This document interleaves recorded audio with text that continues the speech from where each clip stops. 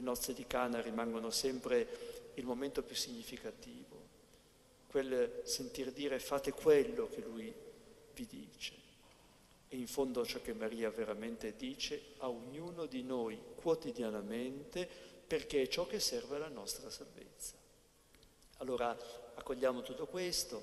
facciamo nostra la preghiera, ovviamente la offriamo per le nostre sofferenze, in partecipazione a quelle di Cristo, per le sofferenze di tanti nostri fratelli,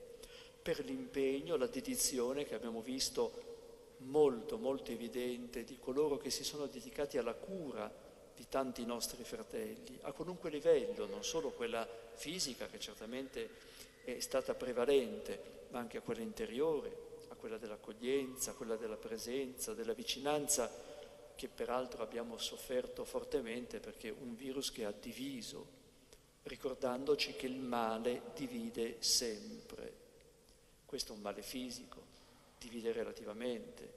Pensate il peccato quanto invece provoca divisione. Ecco, sono tutte cose che devono diventare motivo di meditazione, ma non per disperare, ma per riprenderci,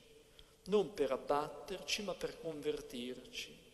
non per chiuderci, ma per trovare una comunione nuova gli uni con gli altri.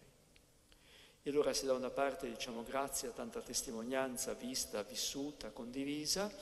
se imploriamo il Signore il suffragio per coloro che invece soprattutto in modo forte in questo momento di sofferenza hanno perso la vita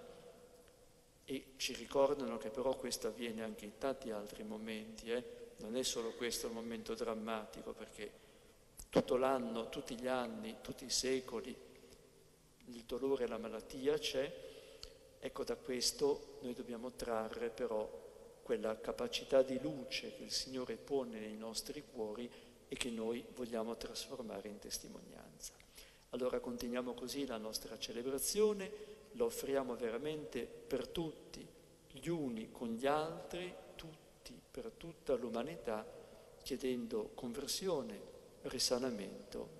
e rinascita di un'umanità realmente tale che possa essere chiamata quell'umanità che Dio ha pensato da sempre e che in Cristo ha voluto salvare e ha voluto portare alla luce più bella, quella di essere figli di Dio.